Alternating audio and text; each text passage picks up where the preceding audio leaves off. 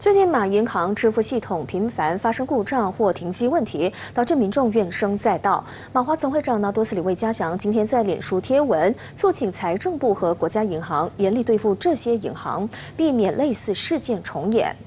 马银行最近因为支付系统故障，导致许多民众因为无法缴费而受困商场停车场长达一个小时，民众因此大吐苦水。魏家祥指出，随着电子支付已经成为人民主要的支付模式，银行支付系统如果频频发生故障或停机问题，是不可饶恕的。毕竟，这不但给人民生活造成不便，也是我国努力推动电子支付的一大败笔。尽管部分维护停机情况无可避免，但银行应该提前宣布，好让支付供应商有足够时间准备替代方案，降低影响范围。